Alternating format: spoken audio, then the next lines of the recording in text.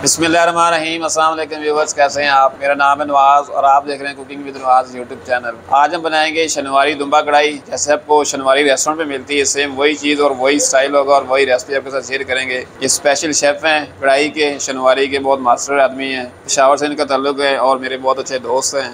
तो आज ये हमें सिखाएँगे शनवारी दुम्बा कढ़ाई। शुरू करते हैं। अच्छा जी, कढ़ाई हमने ले ली। अब इसके अंदर हमने जो ऑयल आप इस्तेमाल कर सकते हैं या घी भी इस्तेमाल कर सकते हैं। 10 से 15 ग्राम आपने इस्तेमाल करना है, इससे ज़्यादा नहीं करना। दुम्बे की चर्बी जो होती है दुम्बे की, वो है सौ ग्राम। एक किलो के अंदर सौ ग्राम चर्बी जाती है।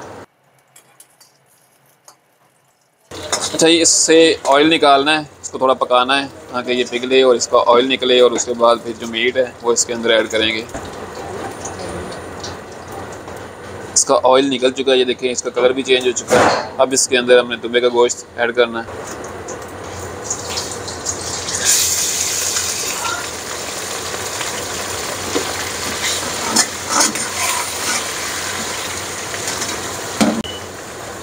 हाफ़ टेबल स्पून इसमें साल डाला है, नमक।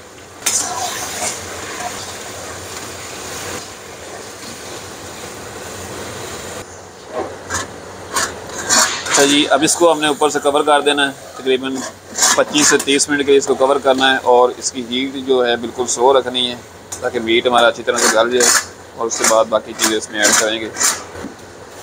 ये जी, हमने ढक्कन लगा दिया अब जो मीट है वो अपना पानी छोड़ेगा और उसी के अंदर ये गलेगा। अच्छा जी, ये देखें, अब मीट पानी छोड़ चुका अपना। ये देखें, अभी इसको 20 बीस मिनट हुए हैं। इतना ज़बरदस्त बन रहा है ये। ऑथेंटिक जो शनवारी कढ़ाई आपको मिलती है, वो रेसिपी आपके साथ शेयर कर रहे हैं। अभी गोश्त हमारा जो है, वो बिल्कुल नरम हो रहा है। अभी पंद्रह से बीस मिनट इसको और लगाना है दम, और उसके बाद फिर इसको। ये देखिए, ढक्कन उतार दी है, और मीट इसका ऑलमोस्ट यानी कि इतना नहीं गला अभी इसके अंदर टमाटर डालने हैं, और फिर इसके बाद इसकी बुनाई होनी है। ग्रेवी तैयार हो रही है। लेकिन ये देखिए नरम हो चुका है बिल्कुल। दुबे की जो खुशबू होती है ना चर्बी की, वो बहुत ज़बरदस्त और बहुत अलग खुशबू आ रही है इसकी। अदरक डाला है इसके अंदर 10 से 15 ग्राम जूलियन कटिंग में।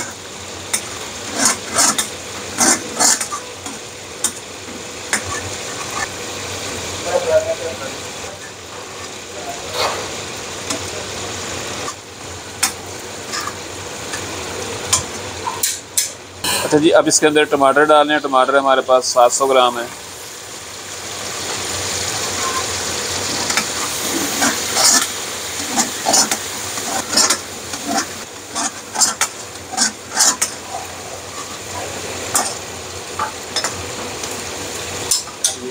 अब इसको कवर कर देना चार से पाँच मिनट के लिए ताकि टमाटर गल जाएँ।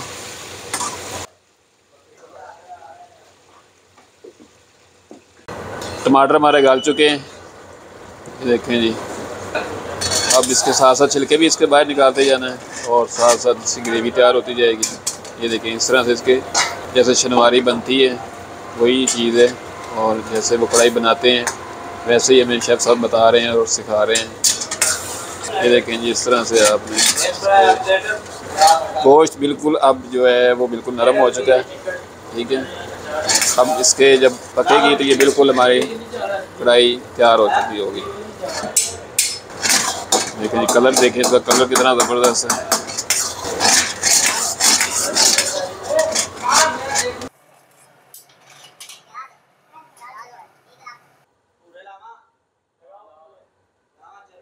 अब इसके अंदर ग्रीन चिली डालेंगे, हरी मिर्च कटी हुई।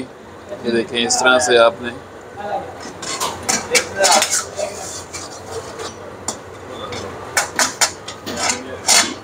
ये देखें जी मीट हमारा बिल्कुल गल चुका है।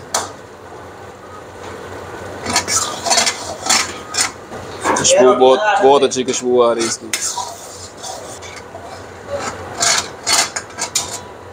अब इसके अंदर काली मिर्च डालेंगे। काली मिर्च पाउडर ब्लैक पेपर पाउडर जिसको बोलते हैं। हाफ़ टेबल स्पून डालना है आपने और कढ़ाई हमारी बिल्कुल तैयार हो चुकी है क्योंकि इसने ऑयल भी छोड़ दिया इसने। और इसे कलर भी परफेक्ट और ज़बरदस्त कलर आ चुका है।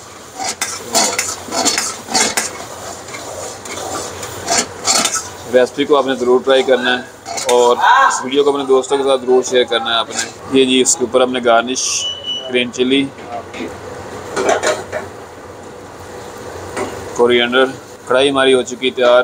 ट्राई अपने ज़रूर करना और अपना फीडबैक हमें ज़रूर देना है। इंशाल्लाह ये रेसिपी आपको बहुत ही पसंद आएगी। वीडियो अच्छी लगे तो वीडियो को लाइक ज़रूर करें और चैनल को सब्सक्राइब करें। मिलते हैं नेक्स्ट वीडियो में, तब तक के लिए जाना दीजिए। अल्लाह हाफिज़।